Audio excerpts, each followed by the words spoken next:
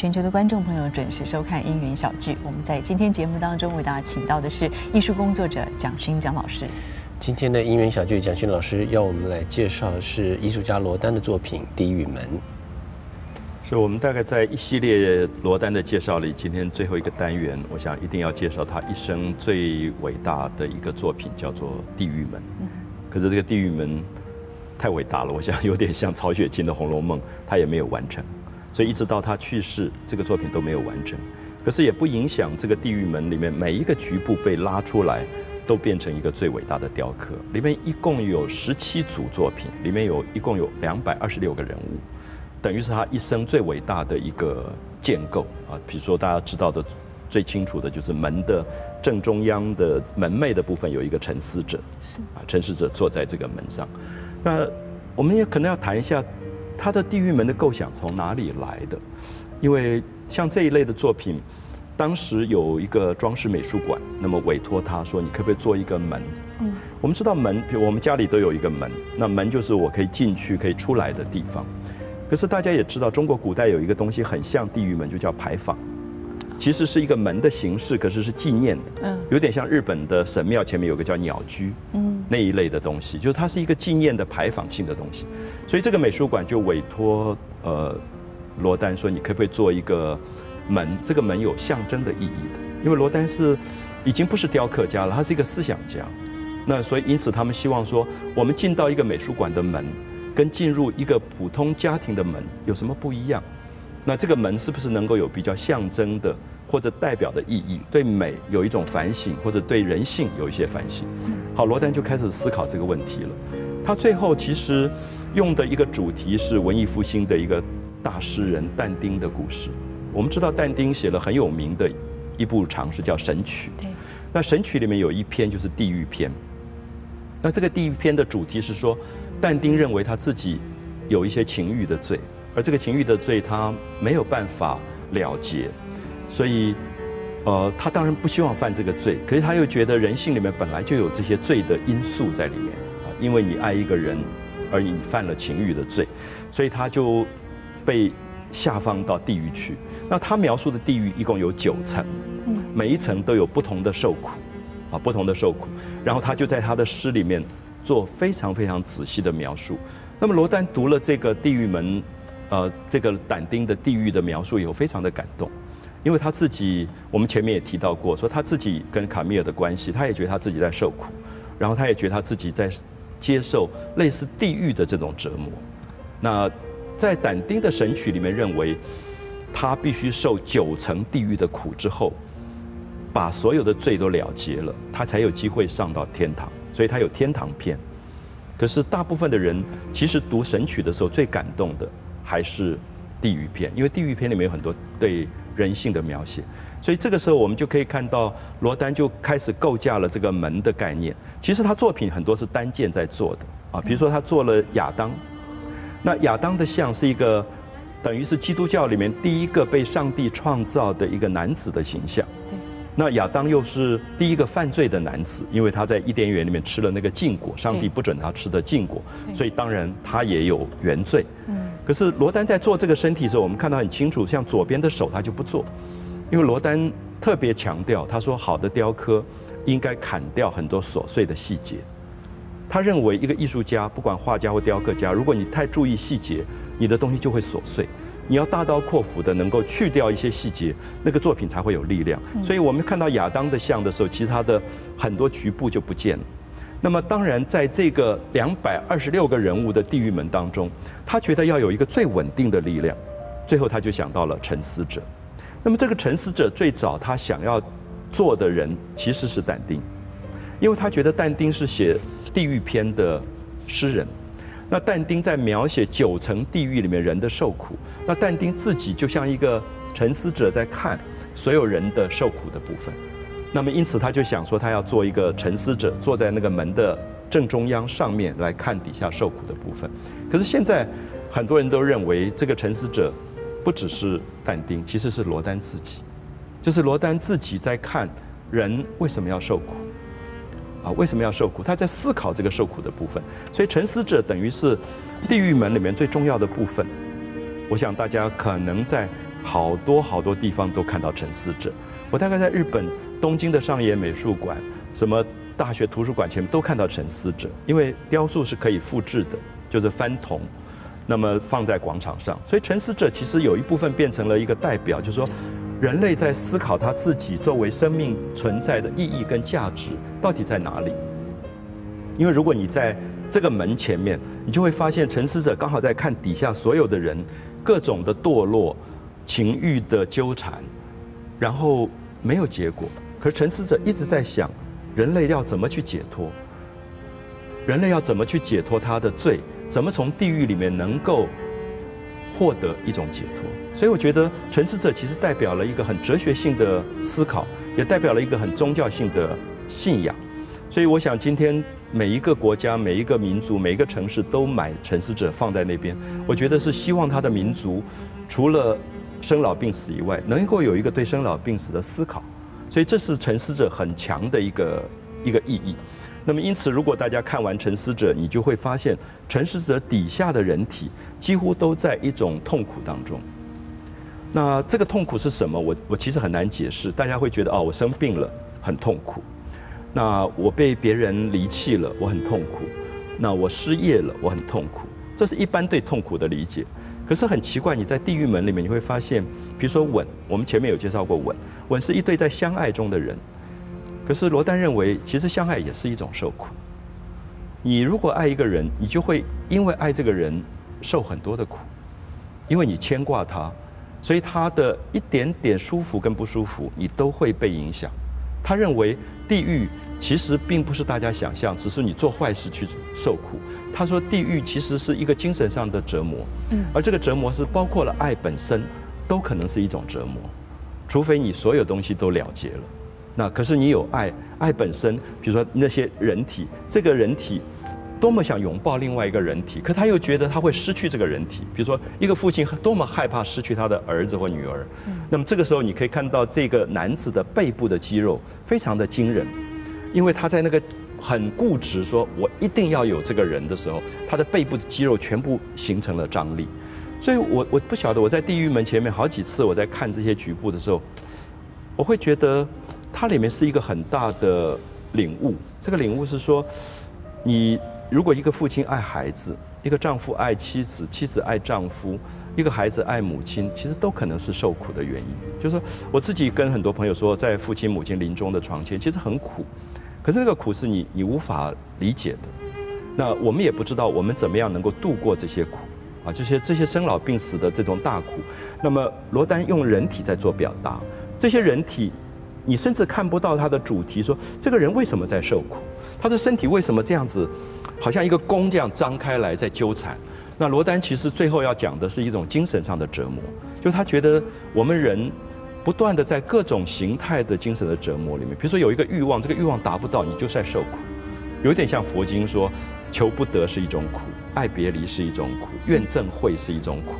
那因此，我觉得罗丹跟宗教上的思考的苦非常非常的类似，他把这些受苦的人全部放进地狱门。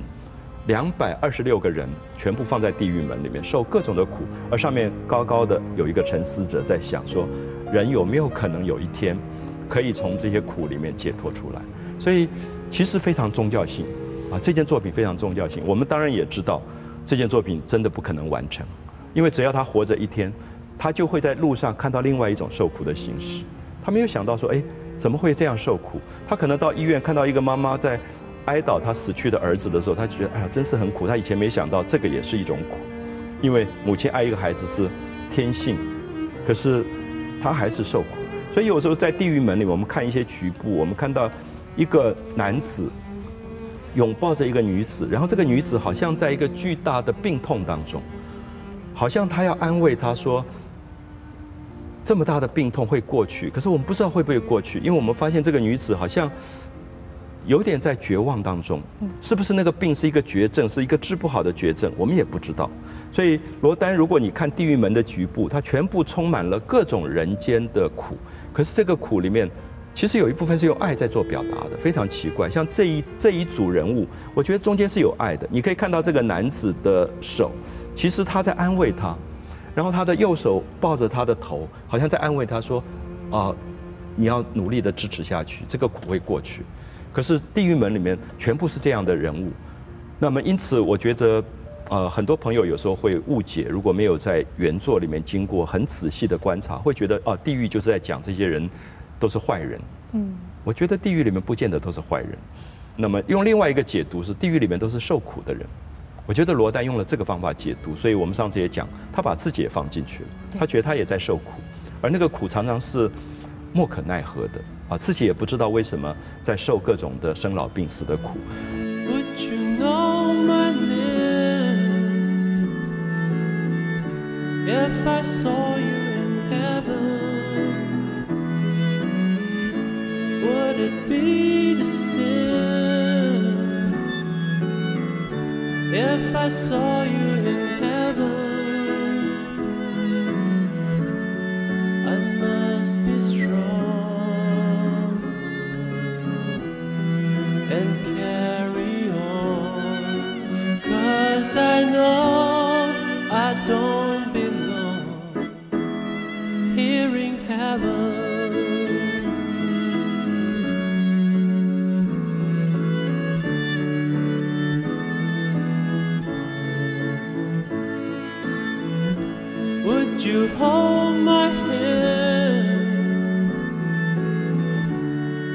I saw you in heaven, would you help me still? If I saw you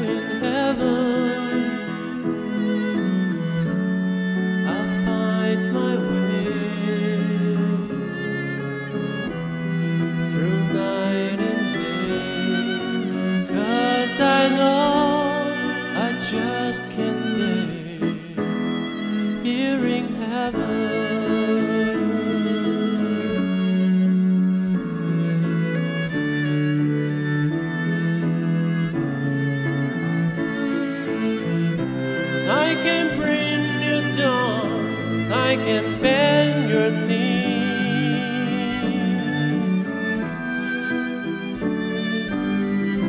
I can break your hearts, have you begging.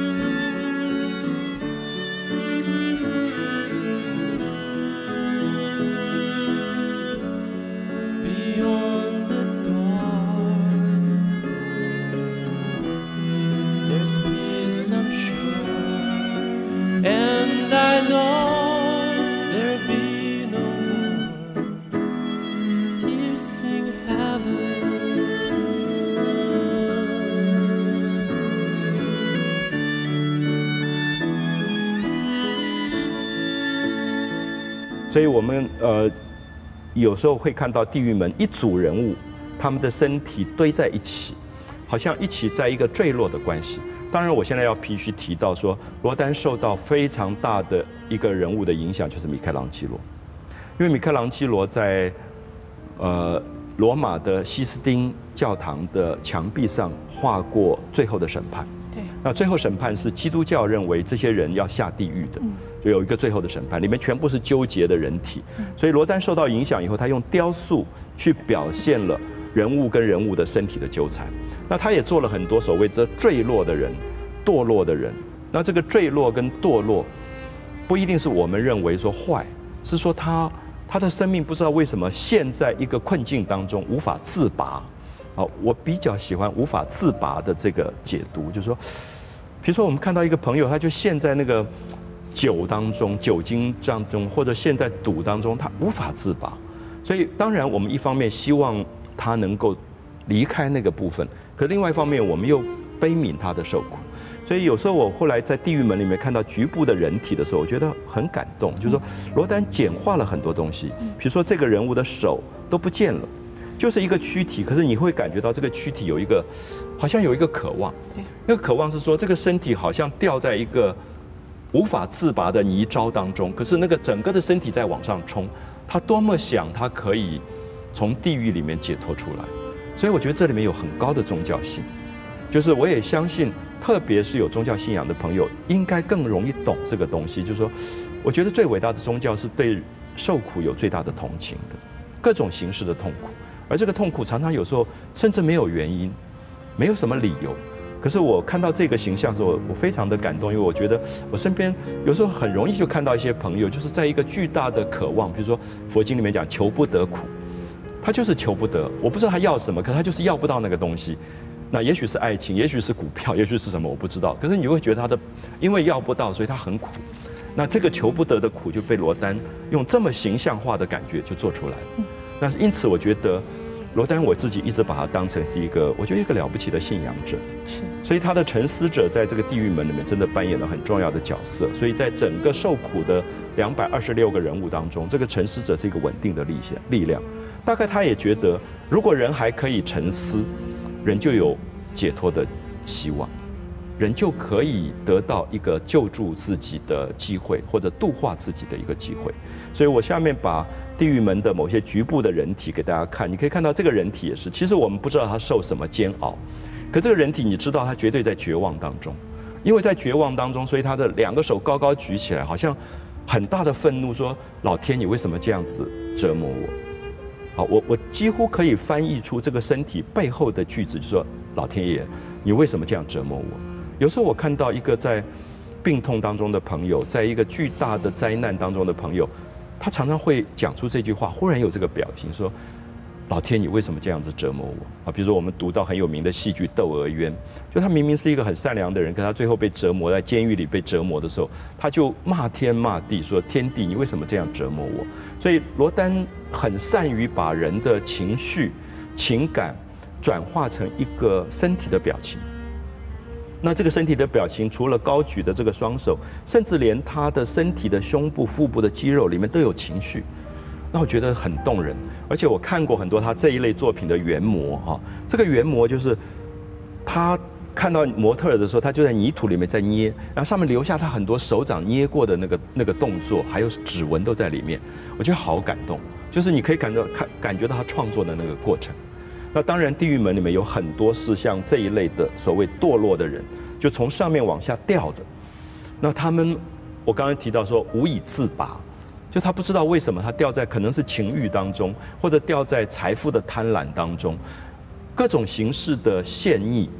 那这个陷溺，罗丹并没有给我们理由跟原因啊。如果他跟我们讲说这个人陷溺于赌博、陷溺于情欲，我觉得就不是雕塑了，他反而只是让你看到。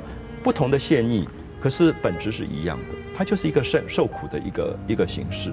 所以这些人体的动作，当然在雕刻历史上也变成了杰作，因为历史上从来没有一个艺术家对人体做了这么复杂的观察。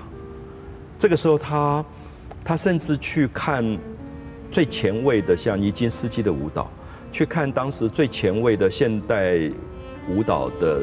始祖伊萨多拉·邓肯，邓肯的舞蹈，当场做很多素描，因为他想抓到人体上面很动人的那个部分。甚至他到街头上去看那种贫病交迫的老乞丐，你可以看到地狱门里面出现一个非常衰老的人，然后那个整个肌肉都下垂，然后好像得了重病，那个腹部都是胀起来的。其实我相信这样的人体，我们在重病的病院大概都看得到。一般的艺术家绝对不会去做这个，因为艺术家大概就要做美美的东西。可是罗丹发现这个人在那个临终前的那种痛苦，让他觉得好感动。那他把这个人体放在地狱门里面，因为他是受苦里面的一个。所以我我相信大家可能已经对罗丹的地狱门有了不同的解读，就是说这个地狱门其实是一个打不开的一扇门，永远打不开的一扇门。而这一扇门，我们其实都在上面。我们在受各种不同形式的苦，所以罗丹因此觉得说，应该对各种人的苦有一种悲悯，因为我们常常会指责别人的受苦，觉得你这种人活该下地狱。可这句话一出来，自己也在受苦当中了。所以因此，我觉得罗丹有一个非常宗教性的东西。所以看到这个人体，特别感觉到他最后在地狱门。我现在放大看的时候，大家发现里面细部都看不到。嗯。那所以如果大家有机会看到完整的地狱门。应该把里面二十六二两百二十六个人物每一个都细看，你会发现从童年到老年的身体都有，从男生男性到女性都有，各种不同形式的受苦，全部在这个门上。嗯，所以因此现在被称为历史上最伟大的一扇门，那带给人类最大的一个对怎么去通过人性的一个一个启发。是。啊，好精彩哦！真的要非常谢谢蒋老师为我们介绍罗丹的作品，感恩蒋老师，谢谢谢谢谢谢。我们的节目时间到了，要非常谢谢你的收看，我们更要感谢的是潘导播，一大一电台所有的工作人员，姻缘小聚，我们下次再一起感恩。Starry, starry night, and your palette blue and gray. Look out on a summer's day. With eyes that know the darkness in my soul. They would not listen, they're not listening still. Perhaps they never will.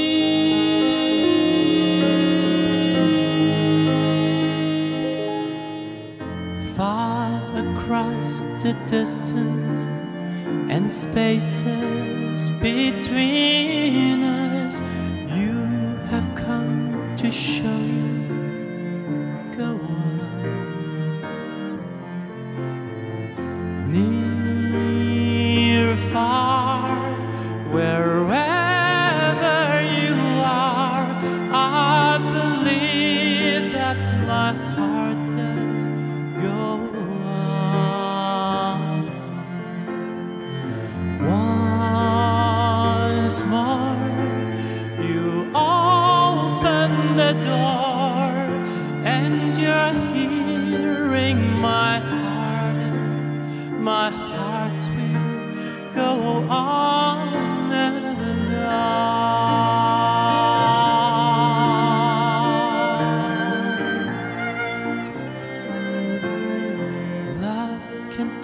Us one time and last for a lifetime and never let go till we're gone.